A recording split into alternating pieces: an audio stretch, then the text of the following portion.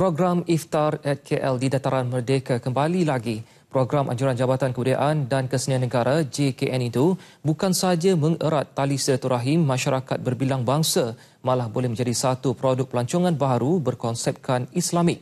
Bagi mengikuti perkembangannya, kita bersama wartawan Zehra Zamri yang berada di sana. Zehra, silakan.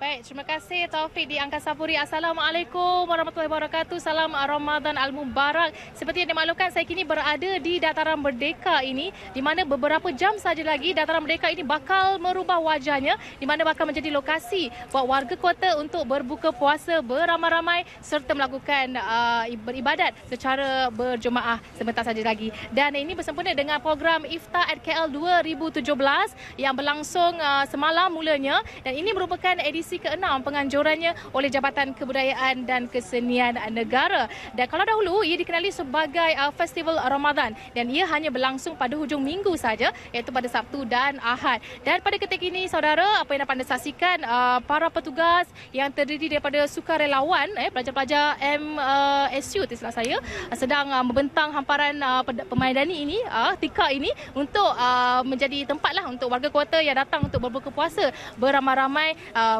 berhadapan dengan bangunan uh, Sultan Abdul Samad ini. Dan uh, hari ini uh, cukup istimewa sekali kerana acara kemuncaknya kerana bakal dihadiri oleh Yang Amat uh, Berhormat Perdana Menteri Datuk Seri Najib Razak bersama isteri.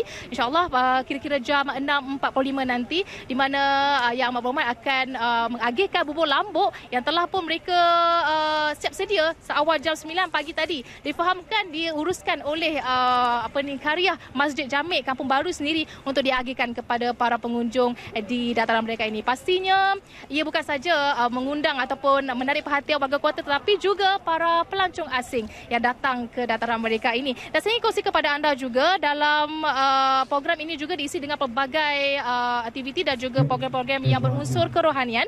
Antaranya adalah seperti Tadarus Al-Quran, Tazkirah Ramadan, Kapsul Ramadan, ada klinik tahsin Al-Quran dan juga memudahkan anda untuk membayar zakat juga kita ada kaunter uh, zakat bergerak dan dan juga ada juga kaunter bergerak mawib di belakang saya ini. Dan uh, pastinya juga ada hiburan, uh, disediakan juga dengan hiburan uh, persembahan artis-artis nasyid uh, negara antaranya seperti kumpulan UNIC, Hijaz dan Raihan uh, sejuru saja selepas uh, selesai ya solat tarawih malam nanti.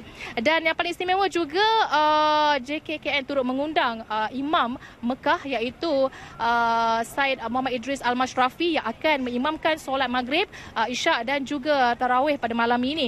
Uh, dan dijangka insyaAllah lah mungkin dapat mengumpul hampir uh, 10,000 pengunjung kerana pada tahun yang lalu juga hampir 10,000 pengunjung dikatakan datang ke majlis, uh, ke program uh, Iftar at uh, KL 2017 ini. Jadi banyak sebenarnya perkongsian yang ingin saya bawakan kepada anda sebenarnya. Jadi untuk itu sekian saja lintas langsung saya. Saya akan kembali dalam uh, Nasional 8 untuk membawa perkembangannya dari sini. Jadi kembali semula bersama Taufik di Angkasa Puri.